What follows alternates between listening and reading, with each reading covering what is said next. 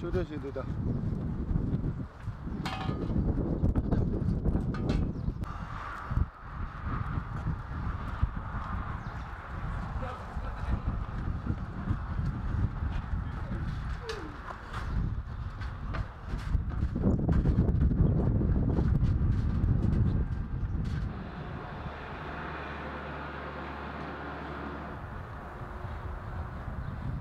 예, 쇼대시대다. Quando remote carros. Aí. Remote digan servo kap. Servo de carro. Servo çinjon. Doğru mu? 다치나 잘 다치나 진짜. Khani bu kam yok. Zedi mare. Açıdan de zone de А, здесь полы. Вот эти. Кастами. Траут. Это денег Мухаммад это поводит тысячу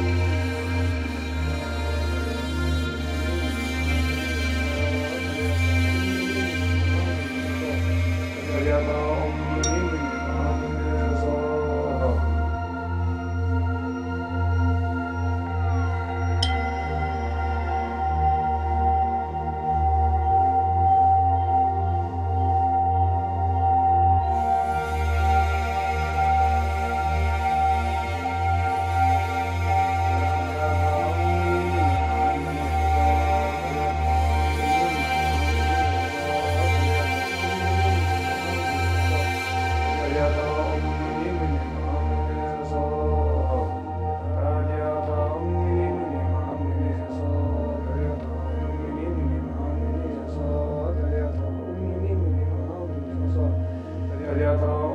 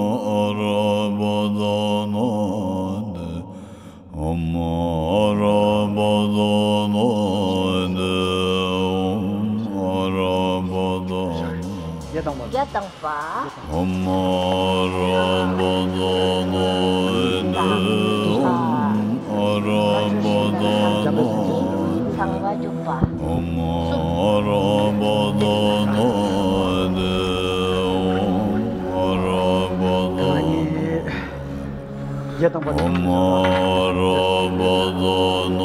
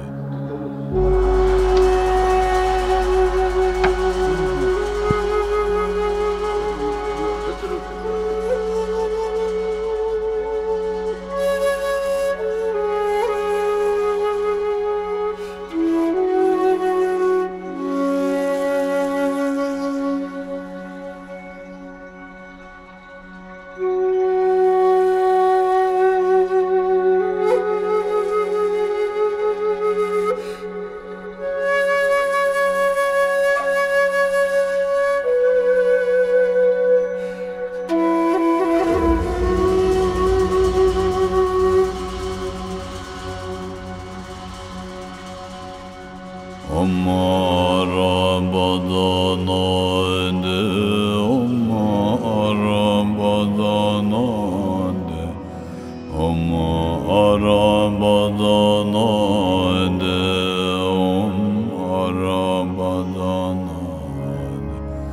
Om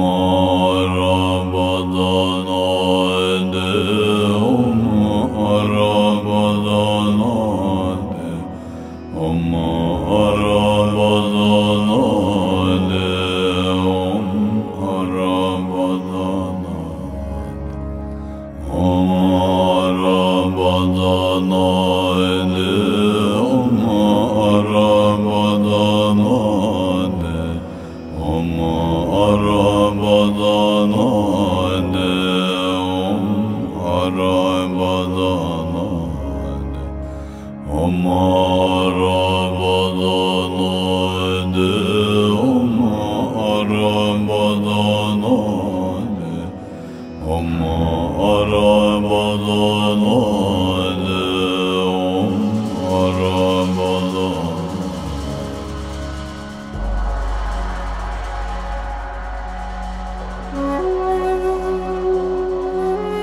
преддверии официального открытия нового монастыря Туптен Шидрублин в Кызыле 24 апреля 2023 года здесь прошло первое богослужение при участии главы буддистов ТВ Гелек Нацик Даржу, тувинских и тибетских монахов.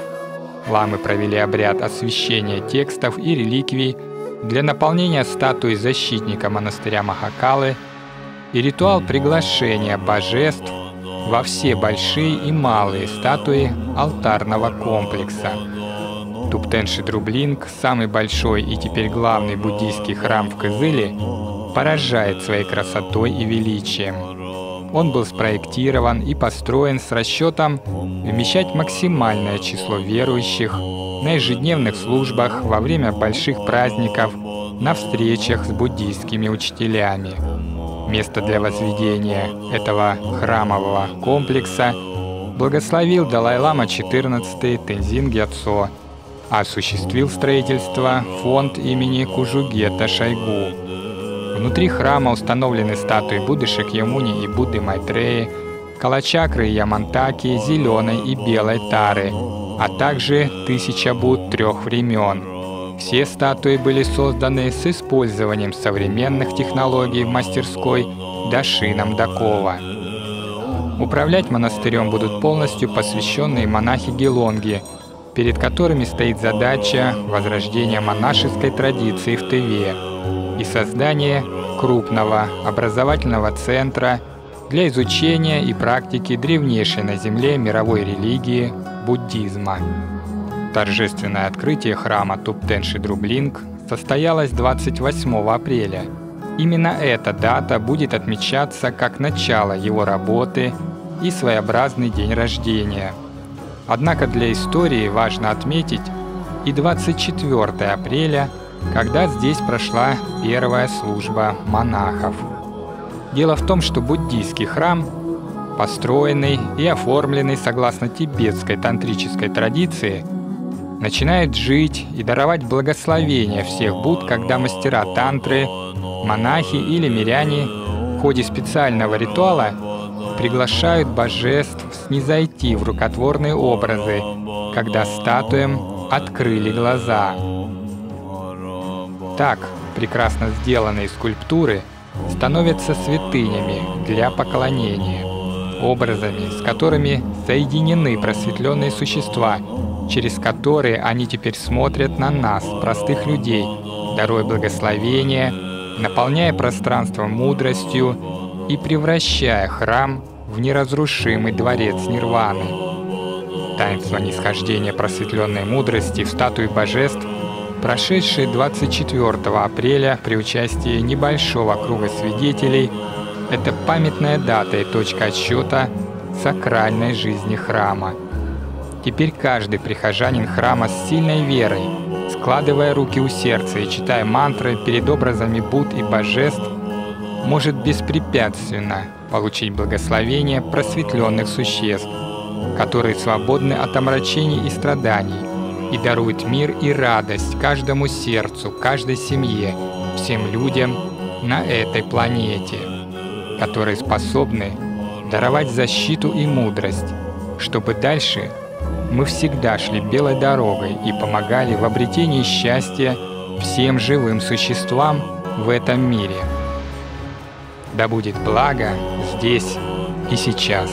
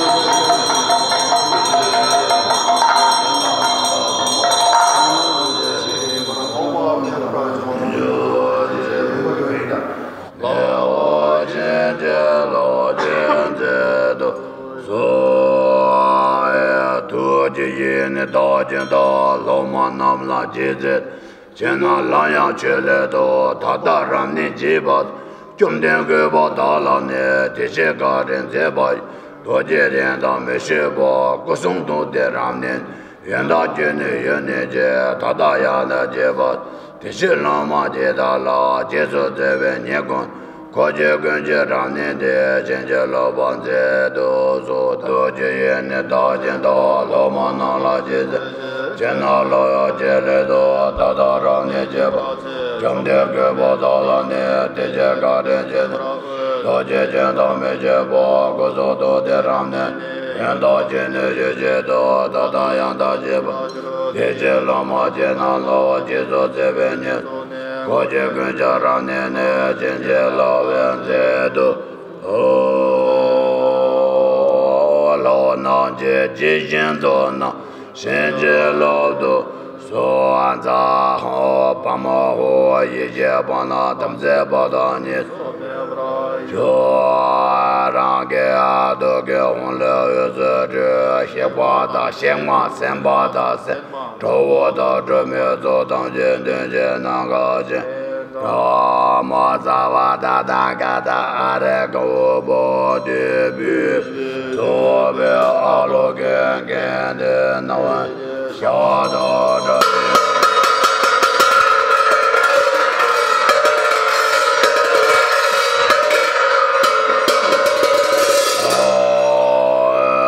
南京的老王八王哥都。xie zawa tabi di xin xie po na ji guan go we gong ban xin mo la su we ri mo do ji po nang go xiu po nam ji du do jiang zhen la rang ye di shou zong zhen lo ga zi ji rong mo dung me do da gu gong la su we jia wa 姐姐，姐姐，我做，姐姐，姐姐，这些的，姐姐，看到看。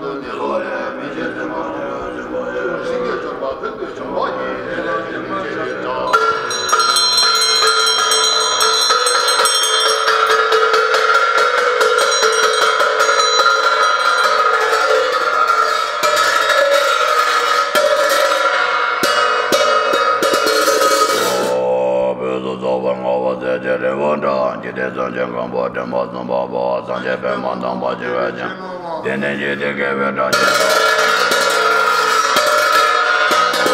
māyē tē nyē bā tē pē chō rā nyē bā jī tē sāñcē rā jī lā dhāmbē jī jī jī dhāmbā jī kū nā rā jī jī bā tēnē jī tē kē pē rā jī